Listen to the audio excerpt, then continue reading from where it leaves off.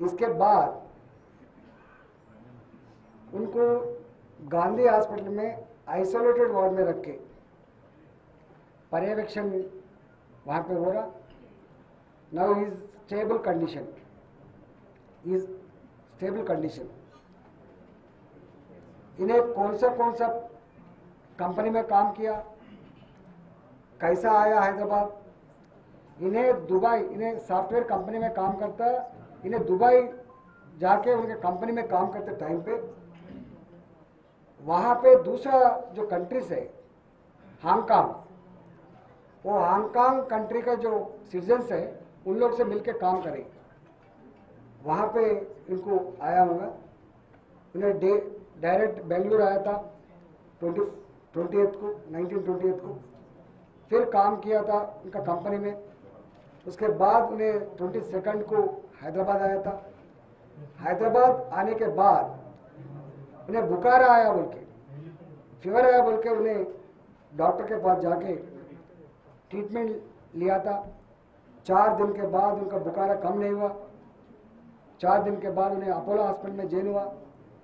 Apollo hospital में treatment लेते time पे उनको बुखार कम नहीं हुआ।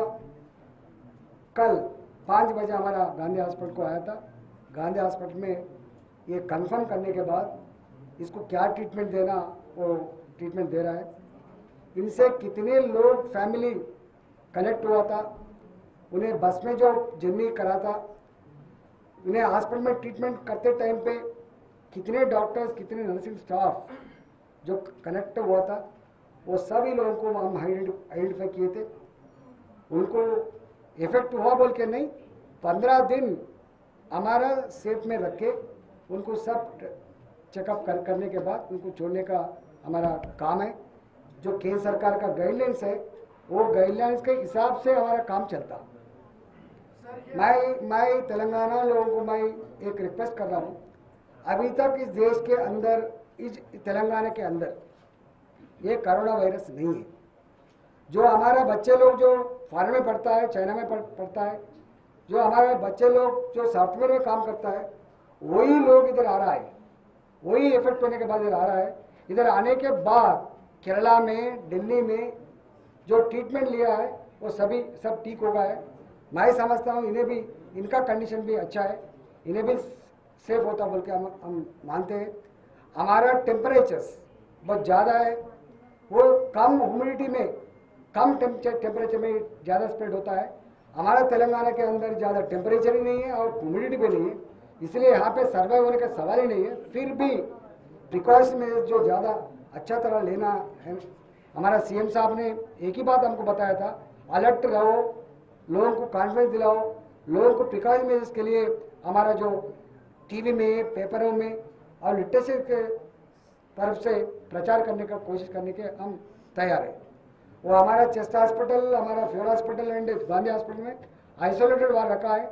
और एक मिलिट्री हॉस्पिटल भी हम परस्यू करके आया है। वो भी लेके वहाँ पे भी अरेंजमेंट करने का कोशिश करते मगर हम हमारा उम्मीद ये है जो बाहर से आने वालों को है मगर यहाँ पे कुछ भी नहीं है। मैं समझता हूँ ये स्प्रेड होने का सवाल नहीं पाए नहीं होता बोल के हम मान रहे सर कितने लोगों को ट्रैक कर रहे वो एटी लोग एटी लोग ट्रैक कर रहे हैं।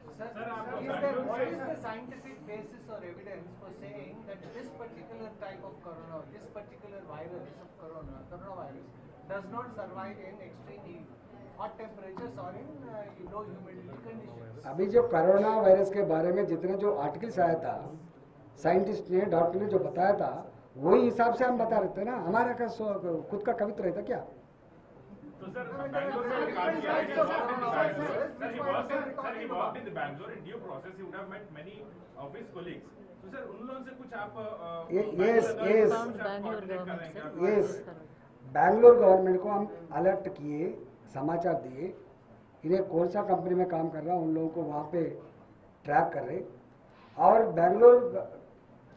डॉक्टर हमारा डिपार्टमेंट को भी इंफॉर्मेशन दिया।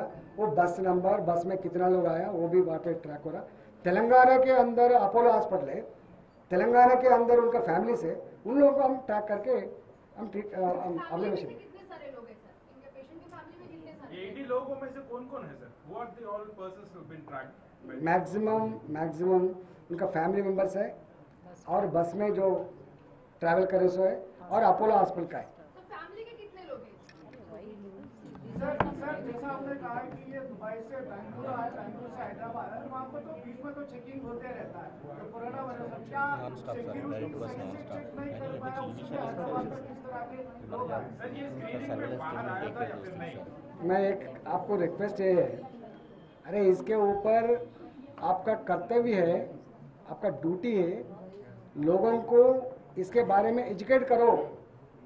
ये छोटा छोटा प्रश्न पूछ के कहीं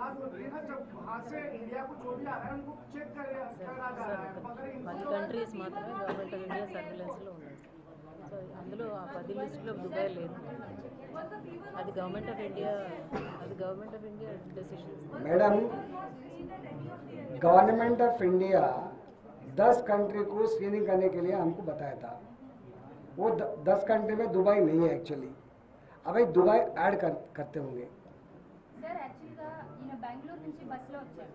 ఇప్పటి వరకు ఎయిర్పోర్ట్ నుంచి వస్తున్న వాళ్ళందరినీ ఐసోలేషన్లో ఉంచుతున్నారు ఏదైనా అనుమానాలు వస్తే. కానీ బస్సుల్లో అలాగే ట్రైన్లలో వచ్చే వాళ్ళ పరిస్థితి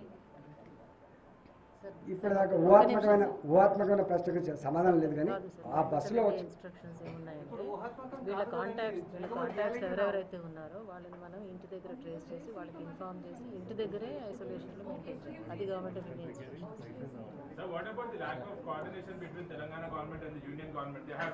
ఎక్కడ ఎక్కడ మాకా ఎక్కడ కూడా అట్లాంటిది లేదు. మీకు ఎందుకు సొంత కవిత్వం పెట్టి మాట్లాడతారు అరే కైకూర్ అయితే हमारा हमारा इंटेंशन और केंद्र सरकार इंटेंशन अलग अलग है क्या?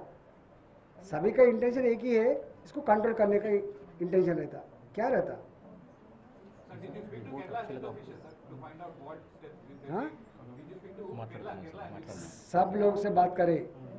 इससे पहले जिस राज्य में आया था, वो राज्य सरकार से बात किए थे हम, वो ऑफिसर से बात किए थे हम, कहीं को छोड़ते?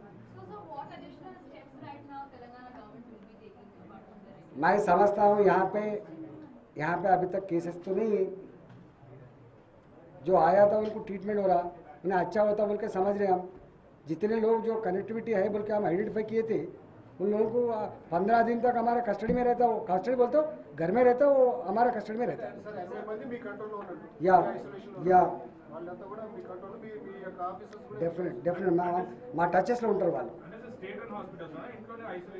ఇంట్లోనే కేంద్ర ప్రభుత్వం ఏం చెప్పింది? వాళ్ళ వాళ్ళ ఇళ్ళలోనే ఉంచి వాళ్ళ వాళ్ళ ఇళ్ళలోనే ఉంచి వాళ్ళకి ఎప్పటికప్పుడు అబ్జర్వ్ చేయండి అని చెప్పి అది చేస్తున్నారు. చేస్తాం కదా. వాళ్ళకి అన్ని ఇన్స్ట్రక్షన్స్ ఇస్తాం no one I don't know I don't know I don't know అరే no no no Twenty seven total number is eight don't don't confuse साहब डोंट कंफ्यूज ये कंफ्यूज है ना ये No, sir, it was clearly asked that, sir, how many pandemic cases? हाँ